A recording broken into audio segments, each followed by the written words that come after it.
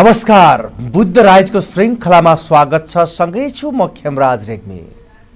आदरणीय महानुभावहरू राजनीतिक अस्थिरताले देशलाई कतातर्फ लैजाँदैछ भन्ने आम बहसको विषय बनेको छ। साँच्चै संविधानमै नभएको विषयको जगमा टेकेर संसद विघटन गर्ने काम सान्दर्भिक भएन भनेर बहस चल्नु स्वाभाविक पनि हो।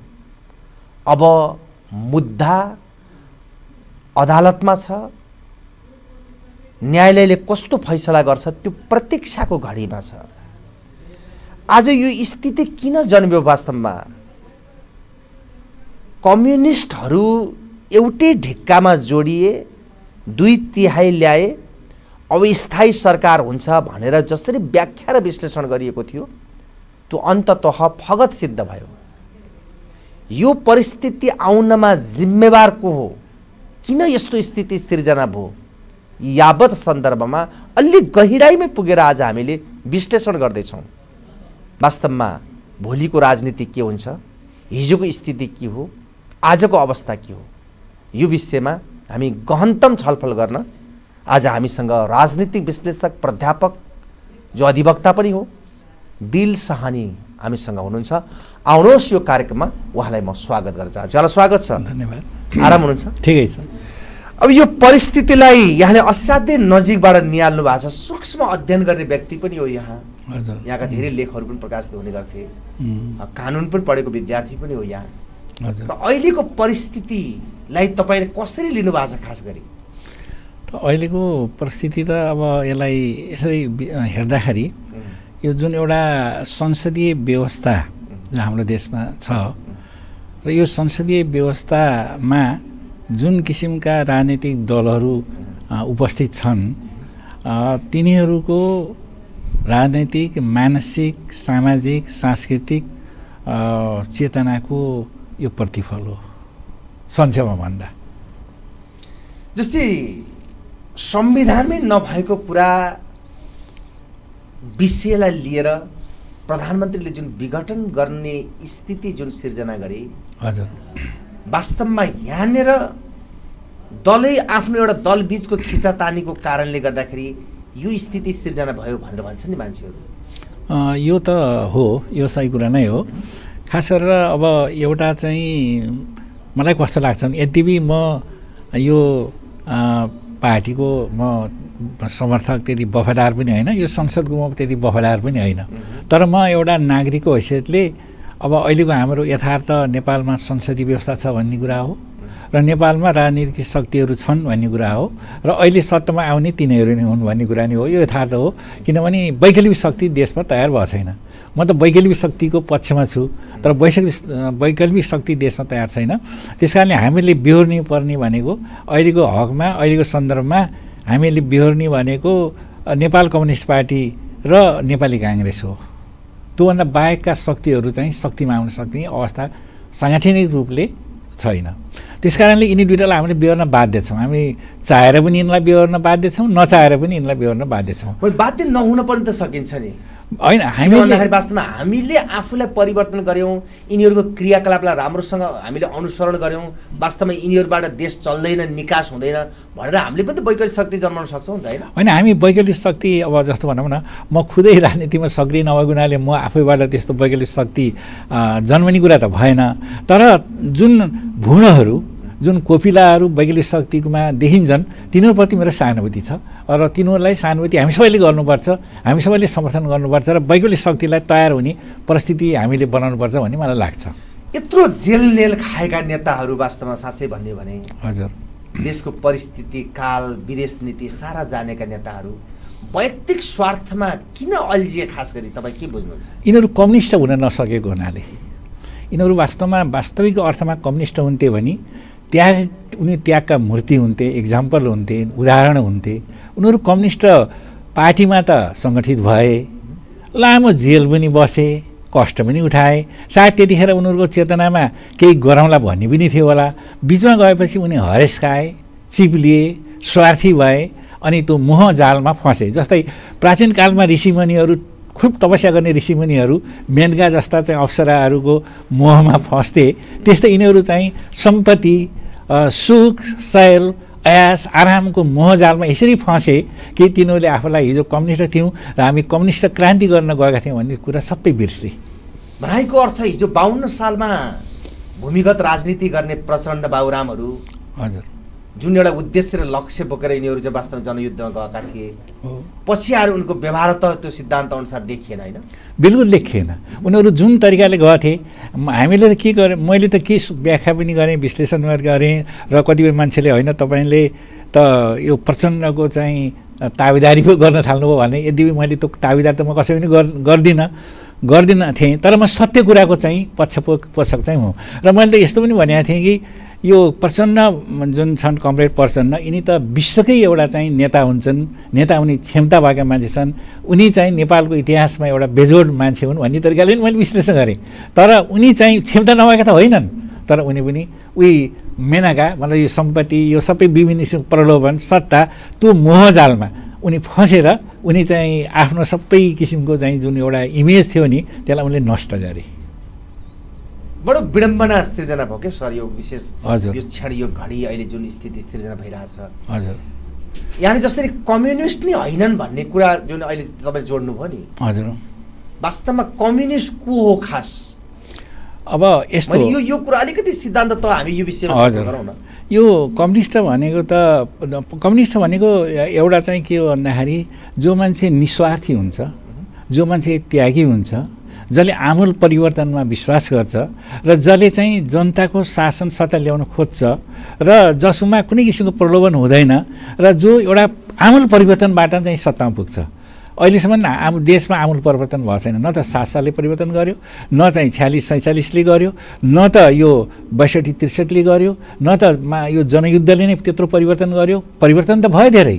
हेर्दाखेरि त राजतन्त्र समाप्त भयो। त्यति धेरै परिवर्तन पनि देखिन्छ। तर यो चाहिँ जुन राज्यको बनोट छ त्यो हिजो राणाकालमा जो थियो अहिले पनि त्यही छ। यो बनोटमा कुनै परिवर्तन भएको छैन। कुर्सीहरूमा परिवर्तन भएको छ। कुर्सीमा जाने मान्छेहरू परिवर्तन भएको छन्। अथवा हिजो चाहिँ अब अलिकति निरङ्कुशता बोल्न नपाइने अवस्था थियो। आज बोल्न पाइने अवस्था तुलनात्मक रूपमा छ। तर त्यो पनि कतिपय राजनीतिलाई त प्रतिबन्धै लागेको छ तिनीहरूले त बोल्न पनि पाउँदैनन्। भन्दाखेरि त त्यो तानासाही व्यवस्था त अहिले पनि छ। कसैको लागि तानासाही कसैको लागि चाहिँ अब छुट त्यस्तो किसिमको देखिन्छ। जस्तै अब माओको सिद्धान्तलाई अनुसरण गऱ्यौँ भनेर भन्ने प्रचण्डहरू लेनिन र मार्क्सको सिद्धान्तलाई अनुसरण गरेर हामी अगाडि बढेका छौँ भन्ने ओलीहरू हजुर। उनीहरू धारै त्यागेर जसरी एक ढिक्कामा जोडिए नि कम्युनिस्ट एक भयौँ भनेर जुन एउटा चाहिँ तपाईँको देखावटी चाहिँ तपाईँको कार्य गरे हजुर। त्यो मेलले आज यो परिस्थिति सिर्जना भएको भनेर भन्न सकिन्छ सकिँदैन। एकदम गहिराइमा कुरा गर्दा। यो यो यिनीहरू मिलेको पनि कुर्सीको लागि मिलेको हो। सत्ताको लागि। प्रष्टको लागि कुर्सीको लागि। किनभने एक्लै नसक्ने भए एक्लै गएर केपीले पनि नसक्ने भए यसले गएर प्रचण्डले नसक्ने भएर कुर्सीको लागि तिनी मिलेका थिए। सत्ताको लागि सत्तामा कसरी पुगिन्छ भनेर उनीहरूको लागि सत्तादेखि बाहेक कुर्सीदेखि बाहेक अरू कुरा उनले देखेनन्। जनताको मुक्ति परिवर्तन यो देखेनन्। सिर्फ कुर्सी देखे। अर्जुन दृष्टि उनीहरूको दुइटैको कुर्सीमा भयो र मिलाप त्यही कुर्सीको लागि भएको थियो। यद्यपि म तपाईँको राजनीतिसँग जोडिएर कुरा गर्न खोजेको होइन अलिकति कम्युनिस्टप्रति सहानुभूति देखाउने व्यक्ति हो तपाईँ मैले बुझ्दाखेरि है। हो त्यही नै हो। सहानुभूति देखाउनु सहानुभूति देखाउने व्यक्ति हो। र वास्तवमा अब नेकपाको भविष्य के हो खास गरी? नेकपा त यहाँ तिनवटा छन्। प्रष्ट भन्दाखेरि। अहिले सत्ताको नेकपा भन्नु है कुन? कुन नेकपा भन्नु? यहाँ नेकपा तिनवटा नाम गरेको पार्टीहरू छन्। अब नेकपा चाहे त्यो सत्तावाला होस् चाहे सत्ता बाहिर या या या चाहिँ आम रूपको नेकपा। आम रूपको नेपाल कम्युनिस्ट पार्टी। होइन नेपाल कम्युनिस्ट पार्टीको भविष्य उज्जवल छ। नेपाल कम्युनिस्ट पार्टी जो सच्चा कम्युनिस्ट हुन् उनको भविष्य उज्जवल छ। यद्यपि संसारमा चाहिँ हिजो जो माओको पालामा जसरी कम्युनिस्टहरू आन्दोलन अगाडि बढेको थियो त्यस्तो बढेको छैन। अहिले त्यो ठहराएको स्थितिमा छ। त्यो अहिले चाहिँ कमजोर स्थितिमा छ। अहिले त्यो पछि परेको स्थितिमा छ। तर मलाई के विश्वास छ भने अ, यो चाहिँ फेरि शक्तिमा आउँछ। किनभने लडाइँको मैदानमा कहिलेकाहीँ मान्छे हार्छन् पनि तर हार्यो भनेर सधैँको लागि हार्दैनन्। पछि फेरि विश्व परिवेशबाटै अब करिब करिब समाप्तको चरण देखिन्छ कि? तपाईँ जसले पछि फेरि शक्तिमा आउँछन् भनेर तपाईँ भनिराख्नु भएको छ नि। यो टुक्रिने सिद्धान्त हेर्नुहोस् त कम्युनिस्टहरू जति जुड्छन् त्यति टुट्छन्। अनि यो त्यो देखिए देखिएन यो चाहिँ यस्तो छ यो अहिले चाहिँ मैले भने नि यो ठहराएको स्थितिमा भएर यस्तो भएको हो। तर तपाईँले हेर्नुहोला हरेक देशमा कम्युनिस्टहरू छन्। तिनीहरू कमजोर अवस्थामा छन्। जुन क्रान्तिकारी कम्युनिस्टहरू नभएको कुनै देशै छैन होला सायद। ए भुटान छ कि? अब भुटानमा पनि माओवादी कम्युनिस्ट छन् भन्ने हामी सुन्छौँ। तर यो संसारमा जहाँ पनि कम्युनिस्ट छन् तर अहिले चाहिँ कम्युनिस्टहरू चाहिँ अहिले चाहिँ अलिक पछाडि परेको कमजोर अवस्थामा रहेका छन्। विश्व परिस्थिति उनीहरूको लागि प्रतिकूल बनेको छ। त्यस कारणले तर बिस्तारै बिस्तारै यो अनुकूलतामा आउँछ। अब कालमासले पनि त आफ्नो जीवनमा त क्रान्ति गर्न त सक्नु भएन। पेरिस कम्युन भयो त्यसपछि त उहाँले क्रान्ति गर्न सक्नु भएन। लेनिन आएर लेनिनको बेला बल्ल क्रान्ति भयो। त्यस कारण यो क्रान्ति आजको भोलि हुने कुरा पनि होइन। र यो चाहिँ राष्ट्रिय अन्तर्राष्ट्रिय परिस्थिति अनुकूलता पनि त्यसलाई चाहिन्छ। जस्तै जस्तै तपाईँ हजुर। यो कुरा गरिरहँदाखेरि जुन कम्युनिस्ट सिद्धान्तमा छौँ भन्नेहरू हजुर। आज जसरी दुई तिहाईको एउटा दम्बपूर्ण राजनीतिबाट अगाडि आए नि। हजुर। तर त्यो कम्युनिस्ट आचरण नभएको कारणले गर्दा यो स्थिति आयो भनेर आकलन गर्न सकिन्छ सकिँदैन। निश्चय पनि हो। अब त्यो सिद्धान्त पनि कम्युनिस्ट भएन किनभने कम्युनिस्टहरू अब कम्युनिस्टहरूमा चाहिँ के छ भन्दाखेरि अब गोर्बाचोवले नि कम्युनिस्ट नै भन्थे। आखिरी चाहिँ अब होइन पछि आएर चाहिँ एलसिनको पालामा आएर पछि त सकियो। त्यस कारणले चाहिँ एउटा चाहिँ के छ भन्दाखेरि यो नेपाल हाम्रो ने देशको कन्टेस्टमा कुरा गर्दाखेरि नेपालमा कम्युनिस्ट समर्थक जनताको जमात छ। र कार्यकर्ताहरू पनि कम्युनिस्ट विचारतिर आकर्षित मान्छेहरू छन् ठुलो सङ्ख्यामा कम्युनिस्टहरू भएको कारणले कम्युनिस्ट विचारका कम्युनिस्टलाई समर्थन गर्ने मान्छे भएको हुनाले यो कम्युनिस्टको झन्डा नउचालिकन जित्न सकिन्न। नेपाली काङ्ग्रेस जस्तो झन्डा लियो भने त नेपाली काङ्ग्रेस छँदैछ भन्ने हुन्छ। त्यस कारणले गर्दाखेरि यो कम्युनिस्टको नाममा भोट पाउनुको लागि नै यो कम्युनिस्ट भेष धारण गरेको किनकि त्यो कम्युनिस्टकै नेताहरूले जस्तो भनौँ न अब प्रदीप प्रदीप नेपालले आफै भने यो नाम चाहिँ कम्युनिस्ट राख्न जरुरत छैन हामी अब त्यहाँ छैन भनेर उनकै आफ्नै नेताले भनिसकेका छन्। त्यस कारण यो चाहिँ उनीहरूले के गरेका छन् भने यो एउटा चाहिँ ट्रेडमार्क जो छ नि त्यो ट्रेडमार्क बिगाउको लागि उनले चाहिँ त्यो राखेको हो। वास्तवमा उनीहरूको यदि उनीहरू वास्तविक कम्युनिस्ट हुन्थ्यो भने त यो हालतै हुन्थेन नि। तर सुन्दर भविष्य छ भनेर तपाईँले भनिराख्नु भएको छ त फेरि यहाँनिर। होइन त हामी भविष्यमाथि आशा आशावादी छौँ। जसको चाहिँ व्यवहारै चाहिँ तपाईँ कम्युनिस्टको छैन क्रियाकलापै कम्युनिस्टको छैन। जो वास्तव पूर्ण रूपमा हामी कम्युनिस्ट नहुने स्थिति आइसक्यो भनेर आफै भन्न थाल्यो भने अब फेरि तिनै कम्युनिस्टको भविष्य होइन यिनीहरू यिनीहरू जान्छन्। जो चाहिँ जो कम्युनिस्ट विचार छोडे यिनीहरू जान्छन्। नयाँ कम्युनिस्टहरू जन्मिन्छन् हेर्नुहोस्। नयाँ विकल्प जन्मिन्छ। मतलब यिनी यिनीहरू जो अहिले अहिलेका जो वर्तमान नेताहरू यिनीहरू त सुध्रिन्नन् अहिले जति पनि नेताहरू छन् कम्युनिस्ट पार्टीको जो सत्तामा पुगेका छन् यिनीहरू सुध्रिने कुनै चान्सै छैन। बिसको उन्नाइस हुने मात्रै हो। यिनीहरू सुध्रिँदैनन्। अब नयाँ वर्ग जन्मिन्छ रिटायर जीवनतिर गयो यिनीहरू रिटायर जीवन गयो उनीहरू अब चाहिँ कम्युनिस्ट रूपमा रहन्छन् उनी बुर्जुवा अथवा पुँजीपति अथवा संसदवादी भएर नै उनीहरू चाहिँ चुनावमा आउने हुन्। तपाईँ हामीले यो कुरा गरिरहेको हुन्छौँ तर चाहिँ सातचोटि आठचोटि पाँचचोटि प्रधानमन्त्री हुने दाउमा यिनीहरू नै बसिरहेको हुन्छन्। अब किन विकल्प अन्ततोकता नेपाली जनताले तिनीहरूलाई नै पठाइरहेको हुन्छन्। हो। त्यही नै हाम्रो चाहिँ सबभन्दा जस्तो भनौँ न अमेरिका जस्तो अलिक सचेत हुन्थ्यो भने यिनीहरू आउने नै थिएनन्। हामीहरूमा त के छ भने एउटा चाहिँ एउटा जमात जो एउटा जमात भयो अब कार्यकर्ताहरू पनि अन्धभक्त चाहिँ जुनका पछि छन् उनी अन्धभक्त भएछन् उनले चाहिँ राइट दाएँ भन्दा पनि त्यही ठिक भन्छन् बाएँ भन्दा पनि त्यही ठिक भन्छन् यस्तो किसिमको कार्यकर्ता किन आफै विवेकले चाहिँ सोच्ने हो भने म पनि त हिजो कम्युनिस्ट पार्टीमा थिएँ। म त ती कम्युनिस्ट पार्टीको नेताको विरोध तिनको नीतिको विरोध गरेर म निक्लेको। त्यस कारणले गर्दाखेरि यो कम्युनिस्ट कार्यकर्ताहरू अन्धभक्त हुनाले यस्तो भएको। यदि कम्युनिस्ट कार्यकर्ताहरू उनका फलोवर्सहरू अन्धभक्त नभएर उनीहरू चाहिँ सही कुरा के हो गलत कुरा के हो त्यसमाथि उनीहरूले औँलो ठडाउँथे भने नेताहरूले त्यो गर्ने दम पनि खुल्छ त ती जनताको चेतनाको दियो? कहिले खुल्लेर कसले खोलिदिने खास? यो त व्यवहारले चाहिँ बिस्तारै बिस्तारै खुल्दै जान्छ। व्यवहारले बुझ्दै जान्छन्। ए यिन त यस्तै। अहिले त गाली गर्न थालिसके। अहिले त यिनीहरू नेताहरूलाई त मान्छेले एकदमै यस्तो किसिमले मतलब थुक्न थालिसक्यो नि त मान्छेहरूले। चेतना त आइसकेको छ। तर के गर्ने भने जनता सङ्गठित रूपमा त सडकमा छैन। जो छ पार्टी नै छ तिनीहरूकै पार्टी छ सङ्गठित रूपमा त।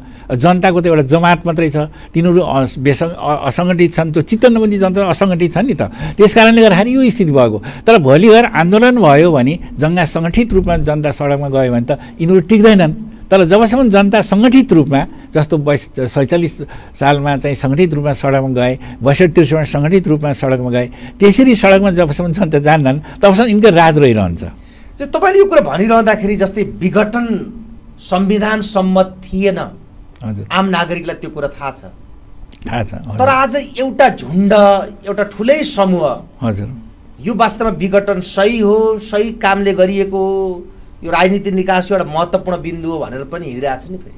त्यो। अन्धभक्तपूर्ण राजनीति भएन। त्यो त अन्धभक्त यी- नागरिकहरू सचिन्छन् यिनले देशको लागि सोध्छन् भने कसरी बुझ्न सकिन्छ? अनि यिनीहरू त सोध्दैनन् उनीहरूले त गलत कुरालाई पनि सही भनेर नि उनीहरू जान्छन्। उनीहरू सुध्रिनुवाला छैन सुध्रिने त जनता हो। सुध्रिने त अलिकति नबुझेका कार्यकर्ता हो जो इमान्दार भएर लागेका हुन्छन् उनीहरू सुध्रिन सक्छन्। तर जो सचेत रूपले लागिरहेछन् नि जसले जानी जानी राखेका छन् जसले यो गल्ती हो भने जानेका छन् तर उसलाई चाहिँ के गल्ती भनेर जानी जानी नि त्यसको चाहिँ पुष्टिकरण गर्ने त्यसलाई चाहिँ सही हो भनेर विश्ले त्यसलाई समर्थन गर्न जो लागेका छन् उनीहरू सुध्रिनुवाला छैनन्। अब एउटा दिलसान सर विशेष गरी हजुर। जसरी आज संसद जस्तो गरिमामय संस्था विघटन गर्ने काम भयो जहाँ संविधान सम्मत छैन आम नागरिकले भन्छन् तपाईँ आफू पनि अधिवक्ता हो। हजुर। यहाँ के छ यो प्रधानमन्त्रीको दम्ब हो? या फलानुलाई मैले परास्तै पारेर छोड्छु भनेर गर्न खोजिएको क्रिया हो? खास यसको जिस्ट कुरा के हो यो चाहिँ व्यक्तिवादी अहम अहम हो। कम्युनिस्ट भनेको चाहिँ के हुन्छ भने कम्युनिस्ट पार्टीभित्र त के भन्छ साङ्गठनिक एउटा चाहिँ शक्ति हुन्छ र त्यो एउटा पार्टीको अनुशासन हुन्छ माथिल्लो कमिटी तल्लो कमिटीले माथिल्लो कमिटीको कुरा मान्ने र जनवादी केन्द्रीयता। अब सबै बैठकमा बैठकको कुरा चाहिँ बहुमतले गरेको कुरालाई पास गर्ने यस्तो किसिमको चाहिँ चिज हुन्छ। तर अब यो पुँजीवादी विचारमा ग्रस्त भइसकेपछि मान्छे के हुन्छ व्यक्तिवादी हुन्छ। व्यक्तिको सोचाइ नै ठिक हो मेरो सोचाइ नै ठिक हो अरू कुरा नसुन्ने। त्यस कारणले यो सहयोग रूपले यिनीहरू चाहिँ जुन एउटा आफूलाई कम्युनिस्टको भन्दा भन्दै पनि उनीहरू जो पुँजीवादी नेतृत्वमा परिणत भए पार्टीमा परिणत भए त्यसैको प्रतिफल हो। त्यसमा चाहिँ उनीहरूमा घमण्ड अहम तिनीहरूमा चाहिँ पला। हुन त यस्तो छ फेरि। कुरा के छ भन्दाखेरि तपाईँको यो संसदीय व्यवस्था चाहिँ सबै देशहरूमा यस्ता छैनन्। र संसदीय संसदीय पार्टीमा काम गर्ने सबै नेता यस्ता छन्। अरू विदेशमा हेर्दाखेरि कोही ठाउँमा त इमान्दार छन् नैतिकवान पनि छन्। त्यो दायराभित्र कम्युनिस्टको दायराभित्र होइन कि लोकतन्त्रको दायराभित्र डेमोक्रेसीको दायराभित्र संविधान संवैधानिक एउटा चाहिँ राजनीतिक दायराभित्र कतिपय देशहरूका नेता इमान्दार छन्। ती सबै देशका नेता त्यस्तो बैमान पनि छैनन्। तर यहाँनिर यस्तो कुरा आयो कि वास्तवमा दुई बिचको फाटो मात्र नभइकन विदेशी चलखेल भनेर पनि भनिएको छ यहाँनिर। एकातर्फ एमसिसीको कुरा अर्कोतर्फ बिआरआईको कुरा पनि सँगै जोडिएको हो छ यो सिद्धान्त त कुरा के हो खास? अलिकति गहिराइमा बुझ्दा होइन यो त एउटा कुरा त के छ भने हाम्रो देशका नेताहरू यो त सबैले जानेको हो कि विदेशीबाट सञ्चालित छन् विदेशबाट सञ्चालित छन्। विदेशी पावरबाट उनीहरूलाई हिजो चाहिँ जस्तो पञ्चायतकालमा शक्तिमा जानको लागि दरबारको आश्रय लिन पर्थ्यो। आजका चाहिँ जो राजनीतिक शक्ति छन् दलहरू छन् जो सत्तामा पुगेका छन् उनीहरूलाई सत्तामा जानको लागि चाहिँ अब यता दिल्ली दरबार उता अमेरिकाको चाहिँ व्हाइट हाउसको दरबारमा चाहिँ बिन्ती पत्र चढाउने जाने उनीहरूलाई रिजाउने र सत्तामा रहने यस्तो किसिमको प्रवृत्ति देखा परेको छ। उनीहरूलाई के लागिरहेछ भन्दाखेरि हामी नेपाली जनताले मात्रै समर्थन गरेर हुन्न हामीलाई विदेशीको आशीर्वाद चाहिन्छ भन्ने किसिमको मनोवृत्ति दासत्व मनोवृत्ति उनीमा जन्मेको छ। त्यो कारण हो। जस्तै हिजो दिल्ली र व्हाइट हाउस खेल्थ्यो भने अहिले बेजिङ पनि खेल्न थालेको छ नेपालमा। अब यस्तो छ बेजिङलाई मैले के के देख्छु भने बेजिङ पनि खेल्न थालेको छ बेजिङको पनि इन्ट्रेस्ट छ। बेजिङको किन इन्ट्रेस्ट छ भन्दाखेरि यो ने यो यहाँ चाहिँ अब अमेरिकन प्रभाव र भारतीय प्रभाव पऱ्यो भने मतलब चाहिँ उसलाई पनि अहिले अप्ठ्यारो स्थिति आउँछ भनेर उसले नेपालमा पनि मतलब चाहिँ एउटा चिनको विरोधी शक्ति नआओस् भन्ने उसले चाहन्छ। उसलाई चाहिँ चिन विरोधी शक्ति चाहिँ नेपालमा नआओस् भन्ने चाहन्छ। वास्तवमा हामीहरूको चाहिँ जुन एउटा फरेन पोलिसी हामीहरूको नीति के हुन पर्थ्यो र हुन पनि पर्छ भने हामीहरू चाहिँ राजनीतिक रूपले भारतसित पनि हामी विमति हुन सक्छौँ र राजनीतिक रूपले चिनसित पनि हाम्रो विमति हुनसक्छ तर हामीहरू राष्ट्रको हिसाब रा एउटा राष्ट्रको देशको हिसाबले हामीहरूको नीति के हुन पर्थ्यो भने समदूरीको सिद्धान्त। कुटनैतिक रूपले भारत र चिनलाई समदूरीमा राख्ने। एउटाको काखमा गएर अर्कोपट्टि औँलो नठडाउने। त्यो किसिमको नीति हाम्रो हुनुपर्छ हाम्रो देशको स्थितिले। हामीले चिनलाई पनि बेखुस गर्न गर्न आवश्यक छैन र भारतलाई पनि बेखुस गर्न आवश्यक छैन। तर कुरा के आउँछ भने यदि भारतले चाहिँ अब हाम्रो भूमिमा दखल अन्दाजी गर्छ भनेदेखि त हामीले त्यसलाई विरोध गर्नु पर्यो। त्यो त्यो भारतलाई नचिराउने नाममा जस्तो कालापानी इत्यादिहरूमा भारतले कब्जा जमाउँछ भने त त्यसको विरोध गर्नु पऱ्यो सुस्तामा कब्जा जमाउँछ भने त विरोध गर्नु पऱ्यो यस कारणले गर्दाखेरि कहाँ विरोध गर्ने कहाँ नगर्ने भन्ने कुरा हो। जस्तो हामीले कालापानी अथवा चाहिँ हाम्रो भारतले चाहिँ हस्तक्षेप गरेका चाहिँ जमिनको लागि हामी जो विरोध गर्छौँ त्यो भारतको विरोध होइन। भारतीय जनताको विरोध होइन। भारत देशको विरोध होइन। तर हामीमाथि भएको अन्यायको विरोध हो। यदि चिनले पनि त्यस्तो अन्याय हामीमाथि गर्छ भने हामीले विरोध गर्नुपर्छ। तर अहिलेसम्म के देखिएको छ भने चिनले नेपालको भूभागमा दखलअन्दाजी नगरेको अवस्था छ। त्यस कारण हाम्रो चाहिँ चिनसित त्यस्तो गुनासो र विरोध गर्नुपर्ने कारण देखा परेको छैन। भारतले त सत्तरीभन्दा ठाउँमा त हाम्रो जमिनमाथि दखलअन्दाजी गरेको छ। कालापानीमाथि अब हाम्रो बाटोबाट चाहिँ उसले चाहिँ बाटो खनिरहेछ हाम्रोलाई मिचेर। त्यस कारणले हामीले विरोध गर्नु परेको छ। हामी भारतको विरोधी होइनौँ। हामी नेपाली जनता भारतका विरोधी पनि होइनन्। तर भारतले विरोध गर्नुपर्ने परिस्थितिको सिर्जना गरेको छ। त्यही भएर बाध्य भएर विरोध गर्नु परेको छ। र हामीले विरोध गरेको भारतीय भारतको सरकारको भारतको सरकारको चाहिँ विस्तारवादी नीतिको थिचोमिचो नीतिको हामीले विरोध गरेका हौँ हामीले भारत देशको विरोध गरेका होइनौँ हामी भारतीय जनताको विरोध गरेका होइनौँ त्यसलाई हामीले यस रूपमा बुझ्नुपर्छ। हामीले त विरोध गऱ्यौँ तर नेतृत्व वर्ग देखाउनका लागि मात्र गरे जस्तो देखियो होइन नेतृत्व नक्सासहित नक्सा नक्सा ल्याउने काम हजुर। यतातिर जनताहरू थलिरहेका छन् कोरोनाले। त्यो परिस्थिति नहेरेर। जनताको सेन्टिमेन्टलाई चाहिँ माथि चाहिँ तपाईँ खेलवाड गर्ने काम जसरी भयो नि? हजुर। र आज ब्याक हुने स्थिति सृजना भइरहेछ। होइन यो त यस्तो अब त्यतिखेर पनि कसै कसैले केपी ओलीले चाहिँ अब मान्छेले केपी ओलीलाई यस्तो हाइलाइट गरिरहेछन् कतिपय मान्छेहरूले स्वार्थपरक मान्छेहरूले। उनलाई चाहिँ एकदमै नेपालको चाहिँ अद्भुत भनेका छन् त्यो कुरा केही पनि होइन। मलाई त के लाग्छ भने केपी ज केपी ओली जस्तो एक किसिमले नालायक चाहिँ नेता नेपालमा जन्मेको पनि छैन जस्तो मलाई लाग्छ है मेरो विश्लेषणमा त। मैले त त्यस्तो तरिकाले हेर्छु। किन भन्दा अब त्यो केपी ओलीले त्यो त्यो चुच्चे नक्सा ल्याउन नि त उनले कहाँ उनले पहल गरेका थिए र सडकमा चाहिँ जनताहरू गएर विरोध गरेर आवाज उठाएर त्यो बल्ल बाध्य भएर उनले त्यो ल्याएका हुन्। ल्याउनु त ल्याए ल्याइसकेपछि अब म त फिर्ता ल्याउँछु नक्सा मात्र होइन म त दि- फेर फिर्ता ल्याउँछु भने चुपचाप लाएर बसेका छन्। फिर्ता ल्याउनलाई कुनै पहल गरेका छैनन्। फेरि अर्को कुरा हेर्नुहोस् फेरि त्यो पाठ्य पुस्तकमा त्यो हालिसकेपछि त्यसलाई बन्द गर भनेर भने भनेपछि त उनको चाहिँ जो राष्ट्रवाद त छर्लङ्गै देखिएन त्यो त प्रष्टै भयो। सबै दुनियाँलाई त थाहा नै भयो। बडो विडम्बनाको कुरा भयो कि अर्कोतर्फ यो कुटनीतिक मर्यादालाई पनि तपाईँ उल्लङ्घन गर्ने काम। जस्तै अस्ति भर्खरकै घटना तपाईँ प्रधानमन्त्रीसँग जसरी भारतीय एउटा न्युज च्यानलले। अन्तर्वार्ता गर्यो। सगरमाथा गएर अपव्याख्या गर्यो। त्यो जाने उसलाई अधिकार पनि थिएन।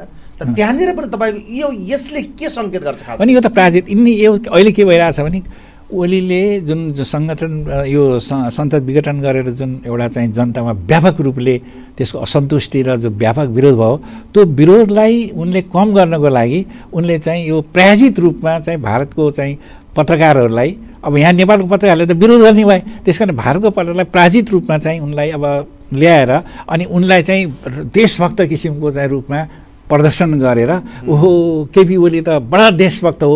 यो नेपालको भनेर चाहिँ त्यो नाक चाहिँ गइरहेको नाकलाई बचाउनको लागि ल्याएको नाटक मात्रै हो। त्यो भित्री कुरा चाहिँ होइन बाहिरी कुरा देखाउनको लागि त्यो गरेको मात्रै। प्रायोजित हो यो सबै कुरा। सगरमाथाको बारेमा जसरी अब- उसले अब उनलाई त- उसको धोती खुस्क्यो भन्ने कुरो। बुझ्यो। अब सगरमाथा जुन मान्छेले आएको थियो जुन कुकुरलाई उनले पाल्न खोजेको थियो त्यो कुकुरले उसलाई टोक्यो भने नि हुन्छ होइन?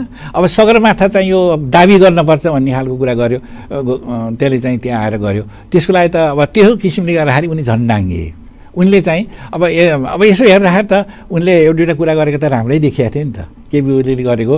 जस्तो अब चिनको बारेमा त यो दुईवटा हामीहरूले चाहिँ दखलअन्दाजी गर्न पर्ने जरुरत छैन। हामी भारतको एक पक्ष लाग्ने होइन हाम्रो लागि दुइटै देश इत्यादि कतिपय कुरा त राम्रै गरेका थिए। तर राम्रो कुरा गर्दा गर्दै पनि उनले चाहिँ भारतकै चाहिँ पक्ष पोषण गरे। उनले चाहिँ मैले चाहिँ उनले उनले के गरे भने आफ्नो त्यो वक्तव्यमा उनले चाहिँ भारतलाई नै माथि हो तरिक तरिकाको नालन्दा विश्वविद्यालय त्यहाँ तमाम किसिमको कुरा ल्याए त्यो ल्याउन जरुरतै थिएन। अहिले त्यो किन जरुरत ल्यायो? उनले आफ्नै देशको कुराहरू बढी गर्न पर्थ्यो आफ्नै देशको इतिहासको कुरा गर्न पर्थ्यो आफ्नै देशको इतिहास नगरेर उनले उनलाई रिजाउन अब उनले चाहिँ यहाँ दुईवटा प्ले गरे यहाँ।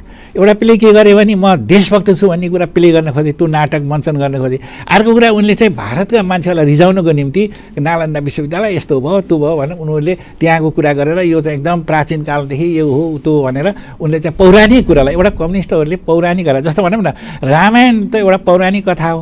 रामायणलाई त कसैले त माइथोलोजी मिथ भन्नु पनि भन्दछन्। अब उनले चाहिँ मिथ र इतिहास के हो त्यो पनि उनले छुट्याउन सकेनन्। मिथ र इतिहास एउटै चिज होइन। त्यो त अलग चिज हो। मितलाई नि उनले इतिहास बनाए इतिहासलाई नि उनले मित। यस्तो किसिमको चाहिँ उनले त्यहाँ काम गरे। र यो चाहिँ उनले गरेको पछाडि उनले के थियो भने एकातिर उनले नेपाललाई म देशभक्त छु भन्ने देखाउनु थियो। अर्कोपट्टि उनको चाहिँ मलाई इरादा के थियो भने भारतको प्रशंसा गरेर भारतका जनताले नि उनलाई चाहिँ राम्रो मान्छे छ भन्ने इम्प्रेसन दिन थियो। त्यो इम्प्रेसन सत्ता बचाउने अभियान सत्ता जोगाउने अभियान यो सत्तालाई सबल बनाउने अभियानमा केपी ओली अहिले पनि छन् भन्ने बुझिन्छ। अहिले पनि छन्। त्यो त उनी अन्तिम अवस्थासम्म उनी हुन्छन्। उनी सट्टाको लागि त उनी फेरि अर्को कुरा यस्तो छ नि हरेक मान्छेको आफ्नो आफ्नो इतिहास हुन्छ। कोही मान्छे चाहिँ त्यो सत्तामा नगए पनि ऊ मान्छेको इतिहास हुन्छ। उसको मर्यादा हुन्छ। अब केपी ओलीको त सत्तामा नजाने भने त तिनको इतिहासै छैन। तिनलाई त कसैले पुस्नेवाला पनि छैन। सत्ताबाट भोलि तिनी बोल्न बित्तिकै केपी ओली भन्ने मान्छेलाई सबैले बिर्सिन्छन् उनलाई कसैले पुस्नेवालै छैन। सत्ता छ र उनलाई चाहिँ उनको नाम आछ उनी सत्तामै मर्न चाहन्छन्। उनको इरादा के हो भने सत्तामा रहँदा चाहिँ म मर्न पाऊँ भन्ने उनको इरादा छ। किनभने सत्तादेखि बाहिर उनले आफ्नो अस्तित्व र भविष्य देखाएको छैनन्। जस्तो भनौँ न जो राजनीति मान्छे जो मान्छे जो राजनीतिक नेताहरू व्यक्तिमाथि आस्था छ उनले चाहिँ के गर्छन् भने बाहिर बसेर नि उनले आफ्नो इमेज बनाएका हुन्छन् नि। जस्तो भन्नु चित्रबहादुर केसी मोहन विक्रमहरू। यिनीहरू सत्तामा त छैनन् मोहन विक्रम सत्तामा छैनन्। तर मोहन विक्रमको एउटा राजनीतिक अस्तित्व त छ नि। चित्रबहादुर सत्तामा एकपल्ट त्यहाँ गयो भने उनी सत्तामा त छैनन्। सत्तामा नभए नि उनी चित्रबहादुर के हुन् भनेर त दुनियाँले उनलाई चाहिँ मानेका छन् नि त। त्यस कारण चित्रबहादुर सत्तामा गए पनि सत्तामा नगए पनि उनी चाहिँ एउटा इमेज उनले बनाए। चित्रबहादुर केसीले एउटा इमेज बनाए। मोहन विक्रमले एउटा इमेज बनाए। सत्तामा गए पनि नगए पनि। तर केपी ओली भोलि सत्ताबाट बाहिर हुने हो भने त उनको इतिहास केही छैन। उनी झापा झापाकालको उनी नेता पनि प्रमुख नेता होइनन्। उनी छत्तिस सालको प्रमुख नेता पनि होइनन्। उनी छ्यालिस साल आन्दोलनको प्रमुख नेता पनि होइनन्। उनी बैसठी बाहन्नको उनी नेता नै होइनन्। बैसठी त्रिसठीको उनी नेता नै होइनन्। उनले कुनै पनि चाहिँ भूमिका उनी जेलमा त बसे। जेलमा त जेलमा बसेर मात्रै भूमिका हुने भने त त्योभन्दा बढ्ता त मोहनचन्द्र अधिकारी जेलमा बसेका छन्। त्योभन्दा बढ्ता त राधाकृष्ण मैनाली जेलमा बसेका छन्। जेलमा बसेर मात्रै मान्छे चाहिँ ठुलो हुने कुरा त भएन। बाहिर आएर उसले त्यो आफ्नो क्षमता देखाउनु पऱ्यो बाहिर उनले क्षमता त उनी अहिले शक्तिमा गएको हुनाले उनले क्षमता देखिएको मात्र क्षमता देखाउन खोजेका मात्रै हुन्। सत्ताबाट बाहिर जाने बित्तिकै उनको अस्तित्वै रहन्न। त्यस कारण उनी सत्तामै मर्न चाहन्छन् अब परिस्थिति के हो खास गरी? जस्तै न्यायालयमा हजुर। मुद्दा विचाराधीन छ हजुर। अब संवैधानिक इजलासले हेर्ने कि पूर्ण इजलासले हेर्ने भन्ने विषयमा बहस पैरवी भइरहेछ। हजुर। पछिल्लो गतिविधि हेर्दाखेरि प्रधान न्यायाधीशले सही न्याय दिन्छन् या दिन्नन् भन्ने खालको पनि यहाँ दुविधात्मक कुराहरू आइरहेछ। खास सूक्ष्म विश्लेषण। तपाईँ एउटा कानुनको विद्यार्थी पनि हो अधिवक्ता पनि हो। खास के भन्नुहुन्छ? खास होइन मलाई हुन त अदालतको बारेमा नबोल्ने भन्छन् र लोकतन्त्र आउँदाखेरि पहिला हिजो राजाको बारेमा नबोल्ने भन्थे र आज अदालतको बारेमा बोल्ने होइन भन्ने त्यो त अदालतको बारेमा नबोल्ने हो भने त अदालत तानासाई हुने भयो। अदालतको बारेमा नि हामी चाहिँ लोकतन्त्र हो भने हामी बोल्न पाउनुपर्छ भन्ने मलाई लाग्छ। र म चाहिँ के देख्छु भन्दाखेरि यो चाहिँ यो जो प्रधान न्याय न्यायाधीश चोलेन्द्र राणाको चाहिँ जुन प्रवृत्तिहरू मैले यसो देख्दाखेरि तिनले एकदमै हुन त तिनले चाहिँ न्याय दिलान् जस्तो उनको चाहिँ गतिविधिले हेर्दाखेरि किनभने मान्छेलाई त एउटा चाहिँ एक्सनले हेर्ने हो अर्को उसको गति व्यवहारले हेर्ने हो। व्यवहारमा हुँदाखेरि सिनियर मोस्ट वकिल त्यहाँ चाहिँ न्यायाधीश हुँदा हुँदै पनि उनले चाहिँ केही यो चाहिँ वर्तमान सत्ताको चाहिँ नजिक भएको मान्छे त्यस्तो त कुनै न कुनै सम्बन्ध भएको मान्छेलाई त्यहाँ राख्न खोजेको हुनाले दालमै कुछ खालाए भन्ने खालको मतलब चाहिँ त्यहाँ झल्को दिन्छ हुन त म फेरि के पनि विचार गर्छु भने यत्रो जनताको जन जनताको चाहिँ आकाङ्क्षा जनताको मनोभाव सम्भावना र चारैतिरको कुरालाई सुन्दाखेरि उनले चाहिँ गलत तरिकाले चाहिँ फैसला गर्लान् भन्ने त्यो त म सोध्दिनँ। किनभने त्यो हिम्मत तिनले नगर्लान्। त्यो यदि यदि गलत तरिकाले उनले उनले यदि मतलब मान्छेको के हुन्छ भन्दाखेरि मान्छेले इतिहासमा एउटा काम पनि गतिलो गरेर गयो भने त्यसले इतिहास निर्माण गर्छ। मान्छेलाई यस्तो क्षण त कम आउँछ नि। उनलाई त अब उनलाई त अहिले त प्रधान न्यायाधीशलाई त यस्तो क्षण आएछ उनले ऐतिहासिक फैसला उनले गर्नुपर्ने अवसर आएछ यत्रो ठुलो अवसर छ। त्यो ऐतिहासिक फैसलाले उनलाई चाहिँ सगरमाथाको टुप्पा पनि पुर्याउन सक्छ र त्यसको चाहिँ तलतिर उनलाई गड्ढामा पनि उनलाई पुर्याउन सक्छ। त्यो निर्णय गर्ने हा जिम्मेवारी उनको हातमा आएको छ। उनलाई ठुलो अवसर इतिहासले दिएको छ। र मलाई के लाग्छ भने तिनले इतिहासको त्यस्तो अवसरलाई उनले चुग्लान् झुग्लान् भन्ने त मलाई लाग्दैन। म आशावान छु। तर उनले चाहिँ जुन गतिविधि गरेका छन् त्यो गतिविधि देख्दाखेरि फेरि दालमा कुछ काला आए भने जस्तो पनि मलाई लाग्छ। म यस्तो दोधारमा छु। ए मैले चाहिँ यो न्यायको अब न्यायको संविधानलाई हेरेर हेर्दाखेरि उनलाई कुनै ठाउँ छैन उनलाई जिताउने कुनै ठाउँ छैन। उनले चाहिँ यो विघटन गर्नुपर्ने कुनै संविधानले चाहिँ त्यो बाटो दिएको छैन जुन बाटो उनले ल्याएछन्। तर अब त्यस कारणले गर्दा उनले चाहिँ न्यायको पक्षमा दिन्छन् भन्ने मलाई लागिरहेछ। तर पनि उनको चाहिँ जुन प्रकारका न्यायाधीशहरूलाई तिनले चाहिँ सेटिङ गर्दैछन् त्यसपछि अलिक शङ्का गर्न पनि ठाउँ त छ। शङ्का गर्ने ठाउँ छ। तर फेरि मैले साथसाथै मैले तपाईँलाई भने नि यत्रो इतिहासमा चाहिँ यत्रो चाहिँ अधिकार दिएको चाहिँ एउटा देशको भविष्यलाई नै तलमाथि पार्ने खालको अधिकार दिएकोमा तिनले त्यो अधिकारमा बिगेर चुकेर झुकिएर त्यस्तो फैसला गरेर आफ्नो चाहिँ इमेजलाई चाहिँ उनले पुरै नष्ट गर्लान् भन्ने पनि मलाई लाग्दैन। त्यो वैयक्तिक इमेजको कुरा भयो? हजुर। प्रधान न्यायाधीश तपाईँले जे कुरा जोडिरहेको हो वैयक्तिक इमेजको कुरा यद्यपि हजुर। यो जुन कुरा सधरै गरियो भने। अब संविधानको हविगति के हुन्छ? यो कुरा जोडिदिनुहोस् त खास गरी। अब सदर भन्नाले तपाईँलाई केलाई सदर भन्नु विघटन विघटन सधरै गर्ने कुरा। विघटनलाई मध्यवर्ती निर्वाचन हुने भन्ने कुरा निर्णय गर्यो। यो चाहिँ मध्य यस्तो कुरा भयो कि यो संविधानको कुनै अस्तित्व रहन्न। संविधान चाहिँ मरेको हुन्छ। अब यो संविधानको चाहिँ अब त्यसलाई फेरि यो संविधानलाई त्यो मधेसवादी दलहरूले त जलाइदिएको थियो नि। फेरि जलाउनु पर्ने स्थिति आउन सक्छ। बडो गम्भीर मोडमा छ। गम्भीर भरमा छ। त्यो के अर्थ भयो संविधान?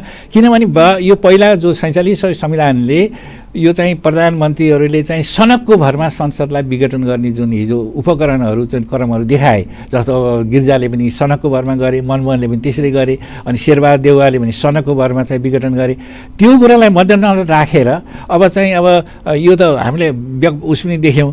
अब सुभाष नेमाङले नि खुदै भने कि अब हामीले सनकको भरमा चाहिँ हामीले यस्तो संविधानले हामीले लेख्न थालेका छौँ जो कि सनकको भरमा चाहिँ कुनै पनि प्रधानमन्त्रीले चाहिँ विघटन गर्न नपाओस् भनेर यो संविधानमा त सनकको भरमा चाहिँ प्रधानमन्त्रीलाई लाग्यो भन्दैमा प्रधानमन्त्रीले जनताको मत लिन्छु भन्ने इच्छा जाग्यो भन्दैमा यसलाई चाहिँ विघटन गर्न हुँदैन। किनकि दिगो यो यो घरिघरि चाहिँ विघटन गर्दाखेरि देशले चाहिँ धेरै कुरा अहिले बेहोर्नुपर्छ क्षति बेहोर्नुपर्छ। चुनावको लागि अरबौँ रुपियाँको खर्च हुन्छ। नेपाल जस्तो गरिब देशले सधैँ चुनाव गरेर पैसा खर्च गर्न हुँदैन। भनेर यो यसलाई पाँचै वर्षसम्म दिगो राख्ने किसिमले व्यवस्था गरेको संविधान हो। त्यस कारणले गर्दाखेरि यसरी चाहिँ मनपरीसँग विघटन अ, को लागि चाहिँ मतलब चाहिँ यो न्या न्यायालयले चाहिँ त्यसको विघटनको पक्षमा न्याय देला जस्तो मलाई लाग्दैन। जस्तै यहाँले यो कुरा जोडिरहँदाखेरि परिस्थिति त दिनानुदिन गम्भीर भइरहेछ।